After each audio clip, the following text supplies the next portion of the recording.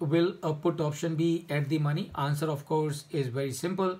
A put option will be at the money when the exercise price is same as the spot price.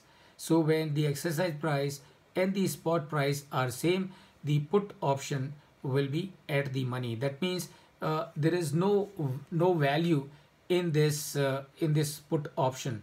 So exercise price is uh, 1900 and we are talking of Kotak Mahindra and the spot price is also 1900 and therefore the difference is zero and that means uh, this uh, put option in Kotak Bank is at the money.